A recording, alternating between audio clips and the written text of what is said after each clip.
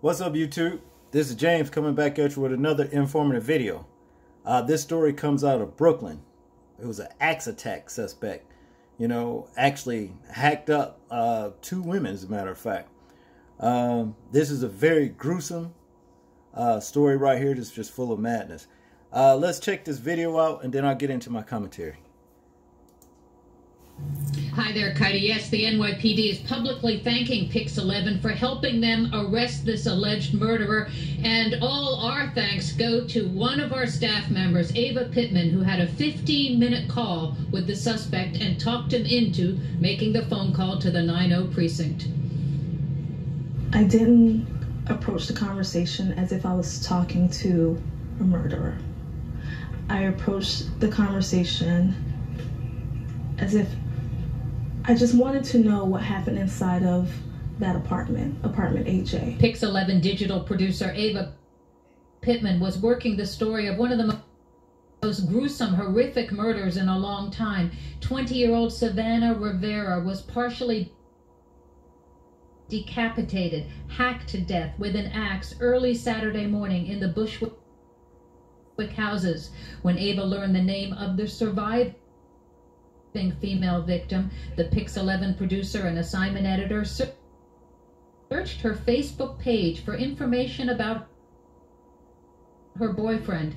Pittman found someone called the Grim Creeper and messaged him to call her in the Pix 11 newsroom, which he did. He was crying on the phone. You can hear the sniveling. He told me that he suffered from schizophrenia, that he was bipolar bipolar and that he suffered from severe paranoia. While Pittman said the suspect, now identified by police as Jerry Brown, said he did, did not remember much about the attack, he did tell Pittman that he had staples in his head and was off his medication. He asked me, What do you think I should do? I said, You need to call police. You need to go down to the precinct. He said, Which one? I said, You need to go to the 90 precinct. Do you know where that is? He said, Yes. Within half an hour of that phone call at 3:45 in the afternoon, police confirmed that Jerry Brown was in custody and is now being charged with second degree murder, attempted murder, and criminal possession of a weapon. What happened in that apartment was brutal. It was gruesome. And um, our condolences go to the family of Savannah Rivera, of, to, of the other victim as well. And I hope that they do get justice. And, and I also hope that Jerry gets the help that, that he so desperately needs. The suspect is currently being treated at an area hospital at and his ex-girlfriend is in critical but stable condition at Elmhurst Hospital. We are live in front of the 90 Precinct Station House in Williamsburg, Brooklyn. Magee Hickey, Pix 11. News, back to you, Katie. Yes, and we're all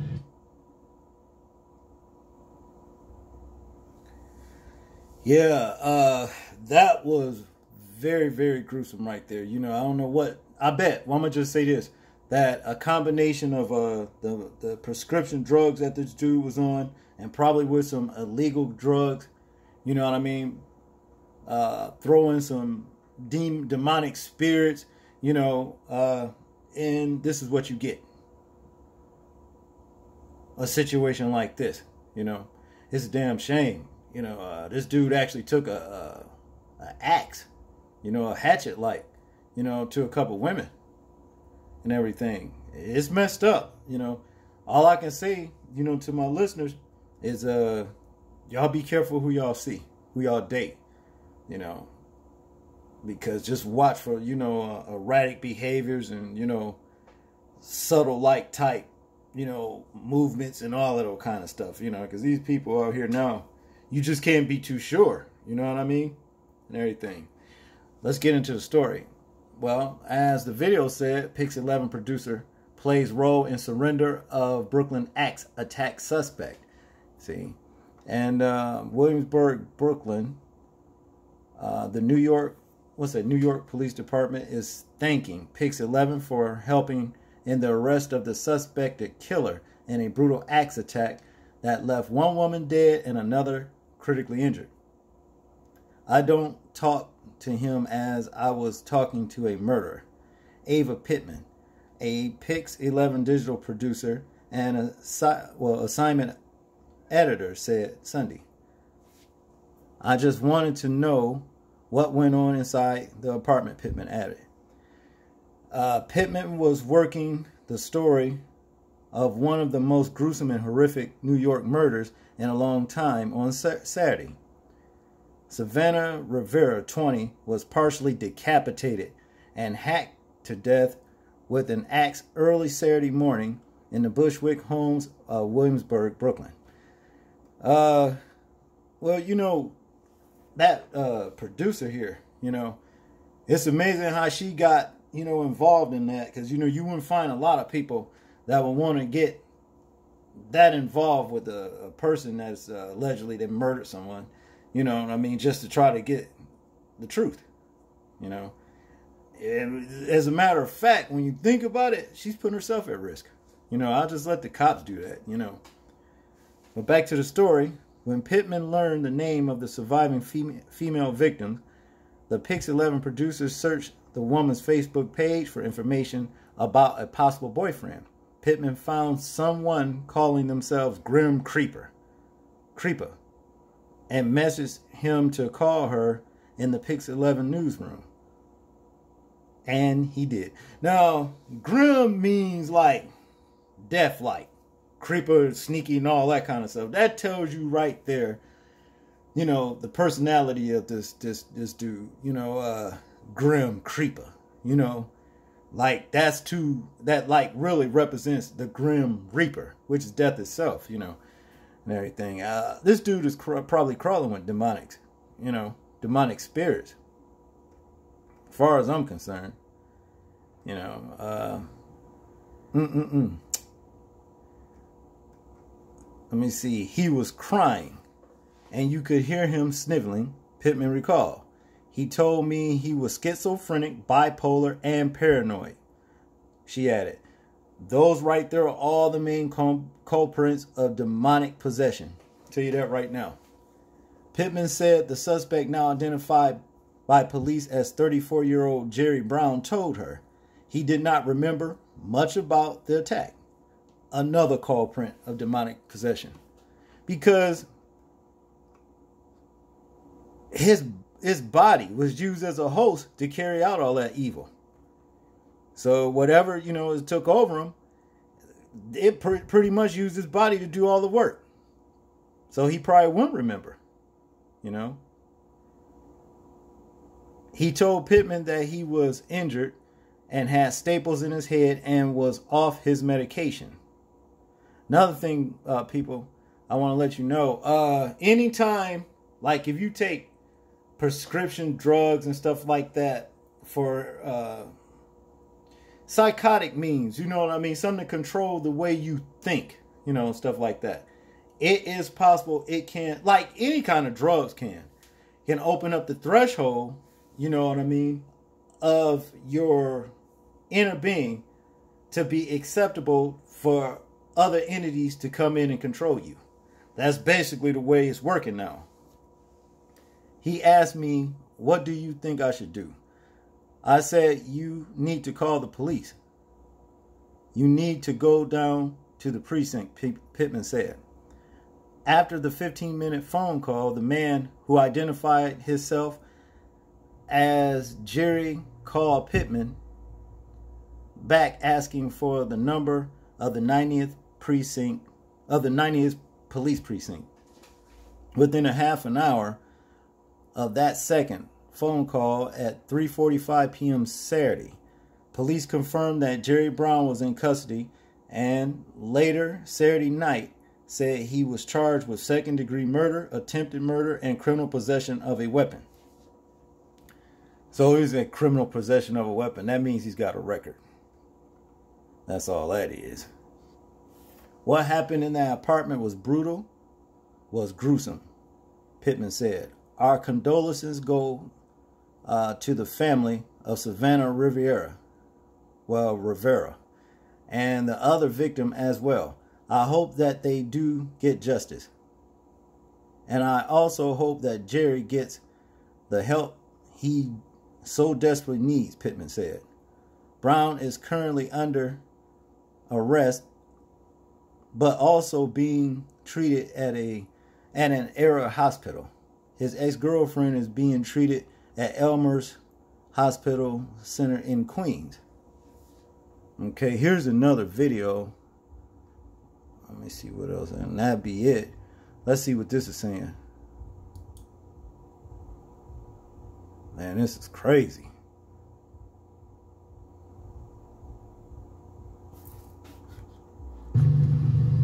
Hi, Katie. So while that phone call was taking place between the suspect and one of our Pix 11 producers, it was a frantic and worrisome afternoon here here in Brooklyn while police were searching for that person. They now have this person in custody, as you said, and they are confident that they're not looking for anyone else in this case.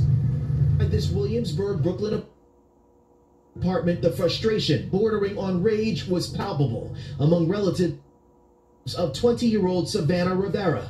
She was hacked to death with an axe early Saturday morning during an attack inside her friend's apartment not far away in the Bushwick houses. What do you know about this guy?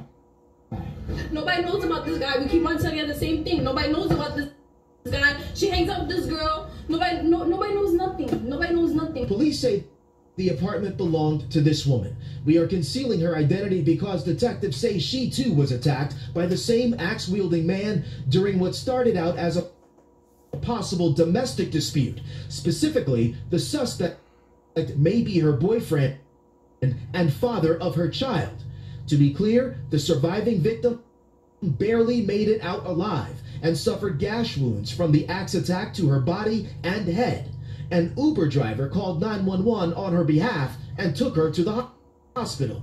As I mentioned, we do not believe this horrific incident was random. We believe all involved are known to each other. As far as motive, that is something investigators are piecing together right now. Pix 11 News' Ava Pittman actually made contact with the suspect, who calls himself Jerry and Grim Creeper on Facebook. Law enforcement sources confirm this same man is the person currently in custody being treated as a person of interest in this case. Over the phone, Jerry said that he is a schizophrenic and doesn't remember the attack. This was a brutal or, or uh, a terrible, vicious, vicious attack, and, and I stand by that. It was uh, on, on both victims suffered multiple deep, uh, deep lacerations. You're doing justice. What does that mean? That he pays for what he did. Right.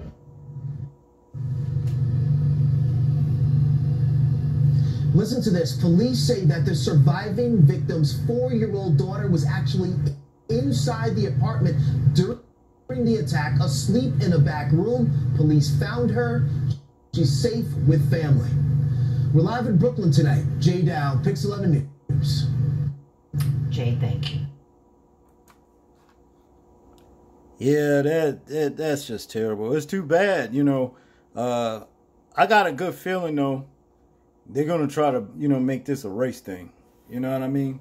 Even though that crazy bastard, you know, just went and murders anybody could have did this shit, but just because he was black and they was, you know, Puerto Rican, that's gonna be one more thing they're gonna be trying to talk, you know, about black people about. You know what I'm saying? I hate the whole entire situation though, but like I said, these people these days are doing all kinds of things, men and women alike, of all colors. You understand what I'm saying? So, like I said earlier on in the commentary, y'all make sure, you know what I'm saying, y'all be careful who y'all see. You know, I mean, just, just, just watch them. You know what I'm talking about, or whatever, because there's some things, you know, that's happening around us, among us, you know, through our day to day lives, you know what I'm saying? And they getting in these, you know, when I'm saying things, I'm talking about these damn demons. You see what I mean? They are getting in to these people that uh, basically has like reprobate tendencies anyway.